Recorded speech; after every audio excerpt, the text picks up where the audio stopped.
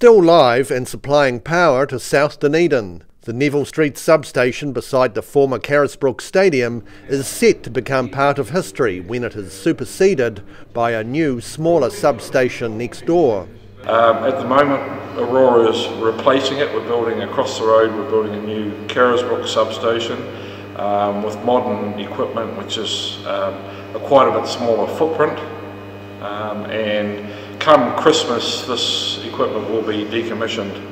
The substation's job is to take the electricity supplied from inland hydroelectric power stations and convert it to a lower, safer voltage for urban distribution. It was built in 1951 and is one of the oldest to be still used in the Aurora Energy Network.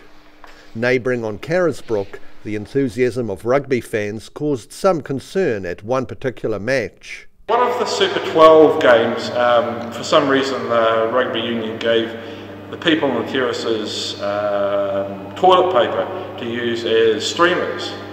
Uh, unfortunately the wind that was blowing at the time pulled most of that uh, paper back over the back of the terraces and landed on the 33 kV bus yard. Thankfully, the weather saved the day on that occasion.